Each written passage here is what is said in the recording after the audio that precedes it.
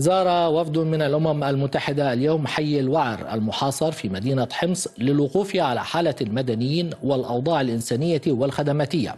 وصرحت خولا مطر رئيسة المكتب السياسي لمبعوث الأمم المتحدة إلى سوريا ستيفاني مستورا أن هدف الزيارة هو متابعة الخطة التي طرحها المسؤول الدولي بعد اجتماع فيينا من أجل إرساء هدنة.